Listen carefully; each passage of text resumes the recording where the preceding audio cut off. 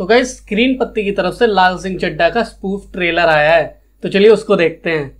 एक चालू।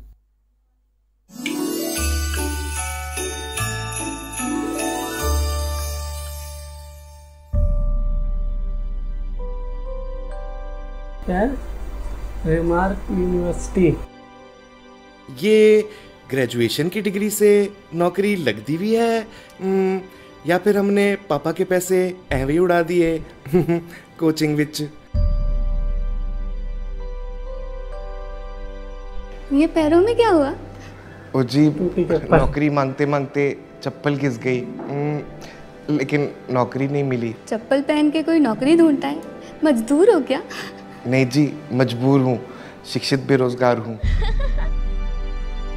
आपका बच्चा अलग है। कुछ होते हैं जिनकी सरकारी नौकरी लगती है कुछ होते हैं जिनकी प्राइवेट नौकरी लगती है और कुछ होते हैं जिनके लौड़े लगते हैं जैसे कि आपका लाल ओए इंडिया में नहीं हो पाएगा तेरा कनाडा भेज दो नौकरी करने पाँच लाख लगेंगे ओए तू वहाँ जाके ट्राला चला ये तो इंडिया में ही नौकरी करेगा बाकी पंजाबियों जैसा नहीं है ये क्योंकि गंदी पंजाबी बोलता है ना तू ये होंदा वोंदा हम्म ये पंजाबी नहीं होती और मम्मी ਇੱਥੇ ਉੱਥੇ ਤੁਸੀਂ ਤੁਹਾਡਾ ਪਾਜੀ ਹੂੰ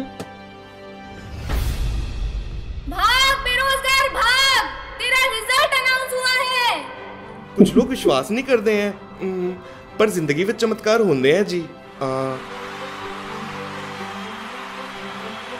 इसीलिए इसकी पचास में नौकरी लग गई और इसकी अस्सी में भी नहीं लगी।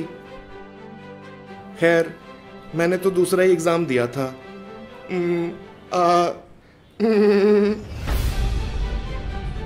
हम्म, चंगा पाजी ਮੰਮੀ ਕਹਿੰਦੀ ਹੁੰਦੀ ਸੀ ਨੌਕਰੀ ਉਸਕੋ ਮਿਲਦੀ ਹੈ ਜੋ ਮਿਹਨਤ ਕਰਕੇ ਐਗਜ਼ਾਮ ਲਿਖਿਆ ਹੈ ਲੇਕਿਨ ਮੈਨੂੰ ਨਹੀਂ ਪਤਾ ਮੈਨੇ ਐਗਜ਼ਾਮ ਵਿੱਚ ਕੀ ਲਿਖਿਆ ਹੈ ਕਿਵੇਂ ਲਿਖਿਆ ਹੈ और क्यों ही लिखिया है जो लिखिया है क्योंकि सरकारें तो नौकरी देंगी नहीं उनका काम थोड़ी है रोजगार देना हम्म, उनको महंगाई भी तो बढ़ानी है आ, अब एक आम आदमी क्या जाने सरकारों की स्ट्रगल्स हम्म पाजी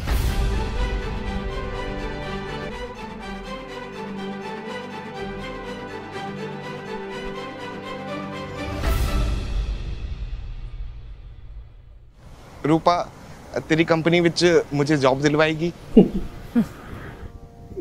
लेकिन मैं तो हाउसवाइफ हूँ ना।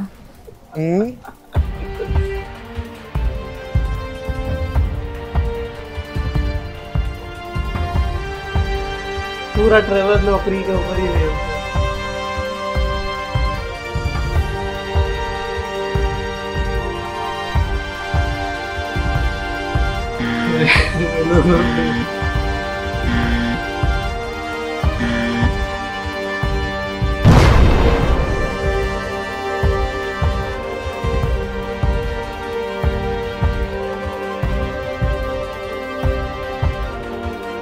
नौकरी लगाओ हमारे मंत्री जी कहते थे कि पकोड़े बेचना भी जॉब होता है। ये लीजिए आपकी सूखी पूड़ी।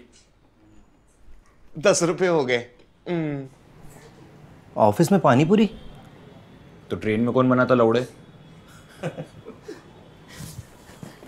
क्या पता ये बेरोजगार बेरोजगारी कब होगी खत्म?